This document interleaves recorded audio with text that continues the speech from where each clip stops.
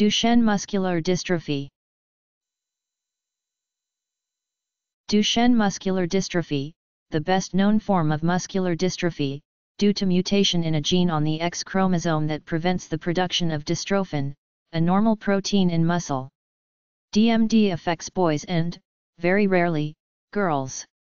DMD typically appears between the ages of 2 with weakness in the pelvis and upper limbs, resulting in clumsiness, frequent falling, an unusual gait and general weakness. Some patients also have mild mental retardation. As DMD progresses, a wheelchair may be needed.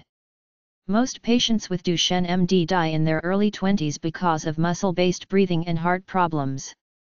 There is no cure for DMD. Current treatment is directed toward symptoms, such as assisting with mobility, preventing scoliosis, and providing pulmonary therapy, respiratory toilet. Gene replacement with dystrophin mini genes is being investigated but no cure appears around the corner.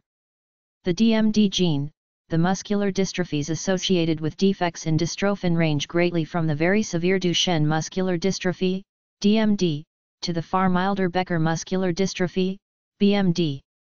DMD and BMD result from different mutations in the gigantic gene that encodes dystrophin.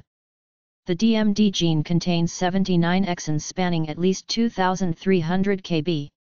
Deletions cause deficiencies in one or more of these, which may explain why mental retardation and cardiomyopathy sometimes accompany DMD, for there are clear-cut differences in clinical presentation depending on what the deletions remove from the dystrophin gene. The DMD gene encodes a 3,685 amino acid protein product. From its amino acid sequence, dystrophin is similar to spectrin and other cytoskeletal proteins. It is rather like an I-beam with globular domains at each end, joined by a rod-like segment in the middle. History the disease is named for the pioneering 19th-century French neurologist Guillaume Benjamin Amand Duchenne. After graduating in medicine, he practiced in the provinces but returned to Paris in 1842 to pursue medical research where he became known under the name of Duchenne de Boulogne to avoid confusion with Edouard Adolphe Duchesne, a fashionable society physician. Duchenne was a diligent clinical investigator, meticulous in recording the patient's history. He followed his patients from hospital to hospital to complete his studies. In this way he developed an exceptionally rich resource of clinical research material, far superior to that available to a single physician or hospital. Duchenne described a boy with the form of muscular dystrophy that now bears his name in the 1861 edition of his book Paraplégie hypertrophique de l'enfance de cause cérébrale. A keen photographer, he depicted his patient a year later in his album de photographies pathologiques. In 1868 he gave an account of 13 affected children under the designation paralysie musculaire pseudohypertrophique.